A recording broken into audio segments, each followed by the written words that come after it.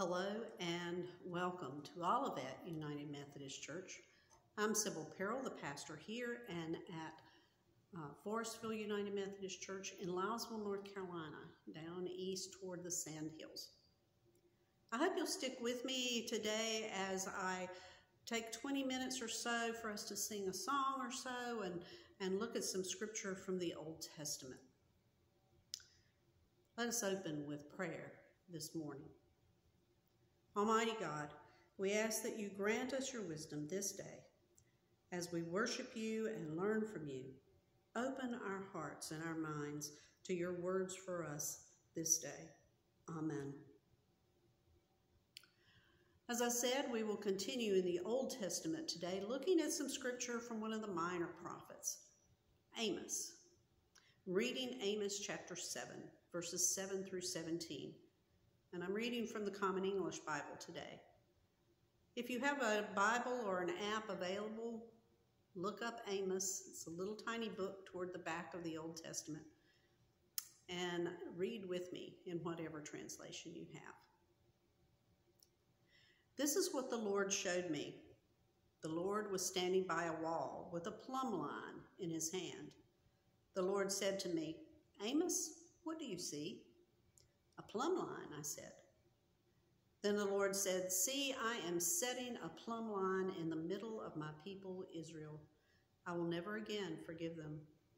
The shrines of Isaac will be made desolate, and the holy places of Israel will be laid waste, and I will rise against the house of Jeroboam with the sword.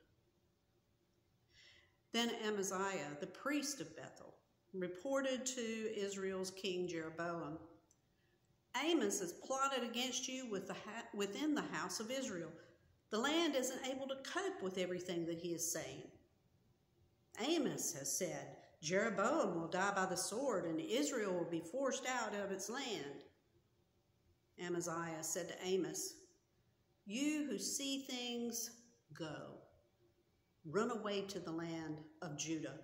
Eat your bread there, and prophesy there but never again prophesy at Bethel, for it is the king's holy place and his royal house. Amos answered Amaziah, I am not a prophet, nor am I a prophet's son, but I am a shepherd and a trimmer of sycamore trees. But the Lord took me from shepherding the flock, and the Lord said to me, Go, prophesy to my people Israel. Now then, hear the Lord's word. You say, Don't prophesy against Israel, and don't preach against the house of Isaac.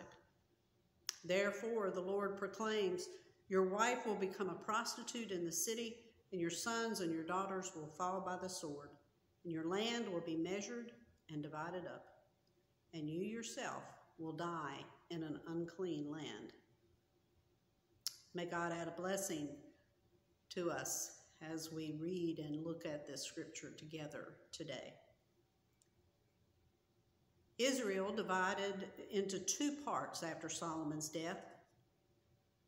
The southern kingdom, Judah, is now made up of the tribes of Judah and Benjamin only. Their center of government and religion is at Jerusalem. The northern kingdom, Israel, is made up of the other 10 tribes. Their center of government is in Samaria, but their religious center was in Bethel. Amos is a Judean from Jerusalem who has come to the northern kingdom because God has directed him to tell the people that they must repent or face death and exile. Earlier, Amos, like Abraham before him, argues and bargains with God God comes to Amos in visions of disaster for Israel because they have fallen away from God and are now openly evil. And until chapter 7, Amos takes up for the people. He basically says, well, they're not so bad, and, and they just need some instruction and direction to get back on track. Here in chapter 7, he has a third vision beginning with verse 7. And there is no rebuttal here from Amos. He now sees how they have not heeded his warnings, and the wickedness of the people has not improved with his instruction and prophecies, but has actually gotten worse. They openly worship at their shrines to different gods on the hills, and they give only lip service to Jehovah, going through the motions once in a while. Amos understands that it is time for God to do something that talking to them, prophesying to them, arguing with them has done no good whatsoever. God has now decided to test the people, and knowing that they will be found lacking, plans to send them into exile after many are killed by invading forces. In Amos' vision, he uses God uses a plumb line as his illustration. The vision shows God holding a plumb line up against a wall. He says he's going to measure the people by the line. Now, as I've told you before, I'm a carpenter's daughter. And, and so I've seen my dad and my brother use a plumb line before. Brick masons use them a lot even today, unless they use a laser. A plumb line is simply a, a, a string that has a heavy weight attached to the bottom so that it stretches out and is straight. You attach it to the front of the, or the top of the, of the wall, uh, and, or hold it right next to the wall, and look to see if the line and the wall meet all the way down. If the wall is leaning, it may not be stable and it may fall. And that's what carpenters and masons talk about when they say that a wall isn't plumb. So God is saying He's going to measure the people and see if they are straight straight with God. In other words, are they following God's commands and living their lives in godly ways? Amos tells the people of his vision and includes God's words about the king's lineage being destroyed. Although there was a marked difference between the rich and the poor, things have been pretty peaceful during Jeroboam's time. The judicial system was broken, the rich took from the poor, charging exorbitant rates for loans and then causing the poor to go into enslavement to pay the debt. The rich got richer and the poor got poorer. Does that sound familiar to you at all? After Jeroboam's death, Israel was attacked by Assyria. All was destroyed, and the people were sent into exile all because they did not measure straight with God. Amaziah was high priest at Bethel and had a pretty good life. He was more afraid of losing his prestige and all the perks that went with it than he was of listening for God's direction for his life and the life of his people. So he told Amos to go home, back to Judah, and get paid for his prophecies there. He insinuates that Amos is a professional seer, like a palm reader today. Amos counters that he isn't a professional prophet and was only there because God told him to come there. The people of Israel didn't want to hear that they needed to change who and what they worshiped. Jeroboam didn't want to hear it, and Amaziah certainly didn't want to hear it. Everyone was status, satisfied with the status quo. There was peace in the country, and at least the rich people were happy and satisfied. They just wanted to sit back and take it easy. They weren't in the least concerned with staying plumb with God. We don't want to hear that God is seeing how we measure up either. We want to continue to live our lives as we want to live them. We certainly don't want to get involved in the injustice of the world, the the state, the nation, the community. We just want to be left alone to live in peace and keep what we have and do what we've always done. And we're satisfied with our religious lives as well. Going to church once in a while, singing a few hymns, listening to the preacher, getting out of church within the hour. Doesn't crimp our, our day too much. And as to protesting and getting involved in missions and such, well, somebody else can do that kind of stuff. oh, we don't mind buying some things to give to different charities, and, and we don't even mind going and working maybe a couple of hours to a day, once a year or so. That's not too bad. Things are good. Not great, but good. Things are fine just the way they are. But God continues to measure us our way of life, our government, how we treat the poor, and how we react to injustice. Our world is much like the world of Amos. There is a great distance between the rich and the poor, with very few in between. There is injustice in our court systems and our governments. There is hate of anyone who thinks, looks, or acts differently. And there is violence just for the sake of violence. God is speaking to us today, just as he spoke to the people of Israel in the time of Amos. We must listen or see our way of life obliterated just like it was for Amaziah. When we see the poor being taken advantage of, do we speak up? Do we intervene? Do we help? Or do we have the attitude of, how does that affect me? When we see injustice of any kind, do we protest?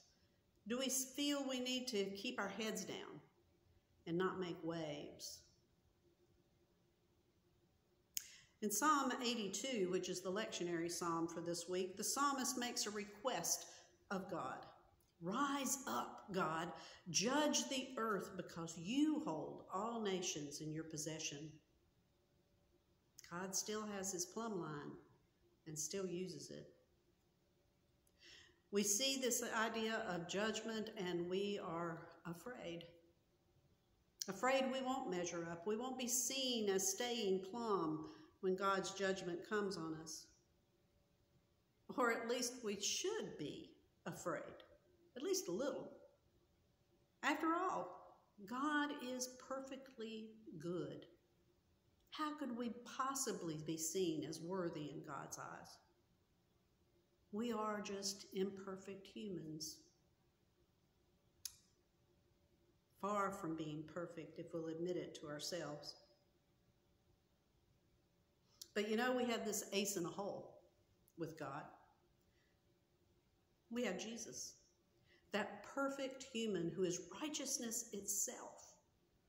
If we have asked Jesus to take control of our lives, and if we have accepted that control, then we can be measured not by our own plumbness, but by Christ's.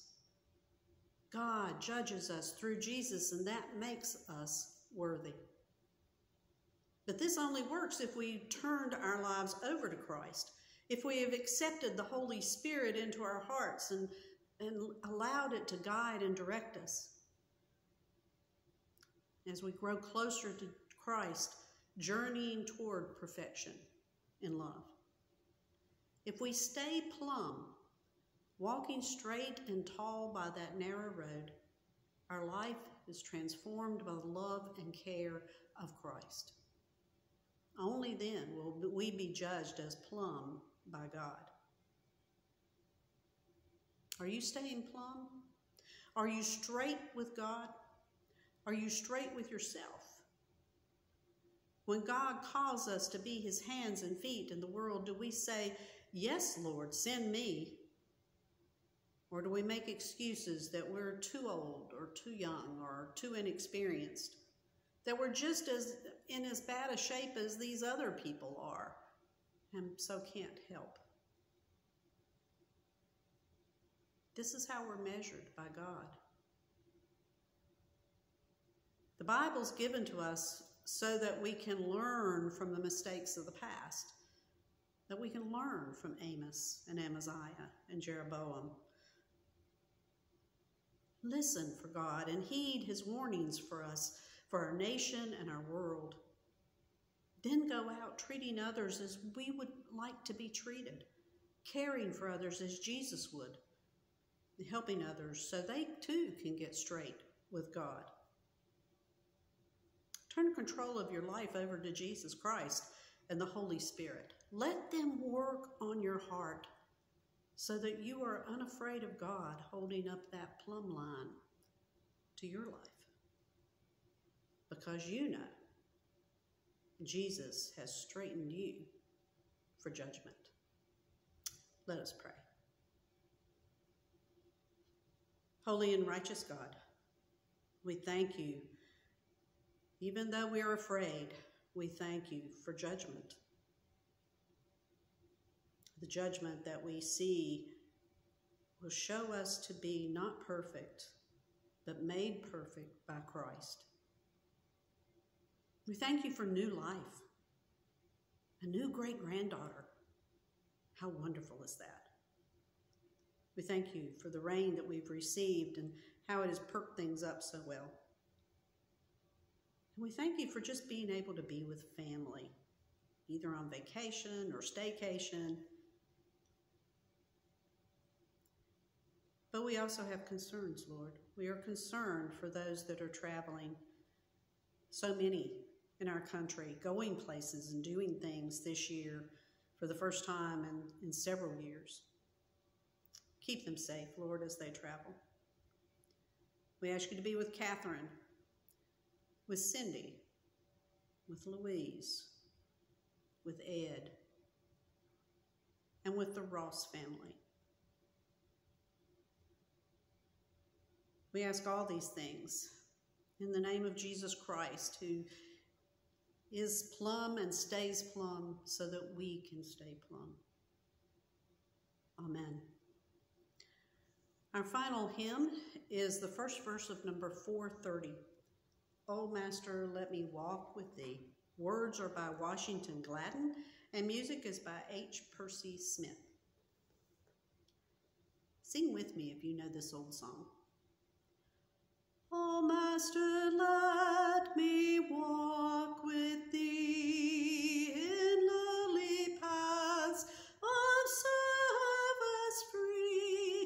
Tell me thy secret, help me bear the strain of toil, the fret of care. For announcements, we do have Bible study today at 5.30 and at 10 o'clock on Monday morning in the parsonage backyard or maybe inside according to the weather hope you'll come join us for the parables uh, as we look at those in the next few weeks. Forestville's mission for July is that we're concentrating on our homebound. Uh, each week, we'll concentrate on a different person with cards and visits and, and calls uh, to one of them. This week is Louise Downer. And if you would like to send a card or to, to call her, then please give me a call and I will give you her information. Olivet's mission for July is soap and toothpaste, but we're also doing shortening and cooking oil uh, as we didn't have very much, so we're trying to collect a little bit more. Forestville's homecoming is two Sundays away. It'll be July 24th, so keep that in mind. If you would like to leave a comment, if you are online, you can do that right there on YouTube or on Olivet's Facebook page. Uh, and just tell me what you'd like us to do. If you need prayer, if you would like me to call you, if you would like to call me, uh, you know, just leave me a comment and I will proceed from there. If you would like to, uh, to call me or text me, you can do that at 704 640 6872. If you are listening by sermon by phone, then you can write me a letter or give me a call. You can write me at P.O. Box 452, Lilesville, North Carolina 28091. And I will get it. You can just address it to the pastor. You don't have to worry about trying to spell my name. Now receive this blessing from God. Walk closely with Jesus daily, staying straight with God. Do those things Jesus would do, fighting for justice, caring for those in need. Stay plumb with God. In the name of the Father, and of the Son, and of the Holy Spirit. Amen. Thanks for being with me. Hope to see you next week. Bye bye now.